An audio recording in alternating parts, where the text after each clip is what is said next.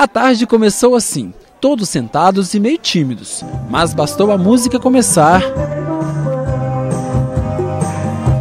A pista encheu e a animação tomou conta do ambiente. E olha que fôlego é o que não falta para essa turma. O Centro de Convivência do Idoso já existe há seis anos. De segunda a quinta-feira eles passam o dia aqui. São 246 pessoas na melhor idade que realizam várias atividades.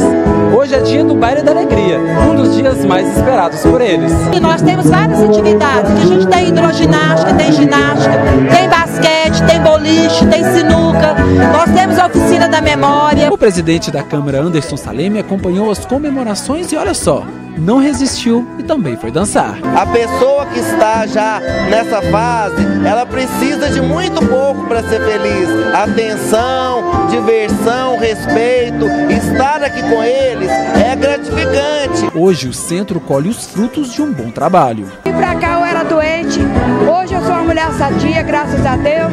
Tomo só um remédio de pressão, tomo todo dia. Eu bebi uma mão cheia de remédio, hoje eu bebo só um. E em meio ao forró encontramos dois artistas que viram na poesia a forma de tornar a vida mais alegre. Divinópolis tem coisas lindas. Meu bairro é assim. Na ponte daquele rio, a beleza sim. Eu já tinha esquecido, mas agora me fez lembrar do lugar onde eu morava. Sinto muito saudade de lá. Eu levantava de madrugada para ouvir o Sabiá cantar, aquele cantar lindo na Copa do Jiquitibá.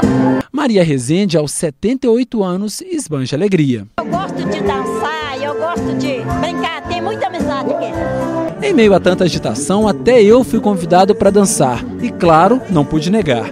Não sou nenhum pé de valsa, mas também não pisei no pé de Dona Ivonir.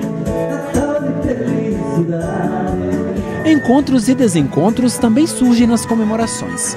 Vilma e Célio se conheceram no centro de convivência. Já tem seis meses de namoro e mostram que para amar não existe idade. Nós conheceram aqui no centro de convivência do idoso, sabe? E estamos até hoje. Mil maravilha. Feliz. Feliz.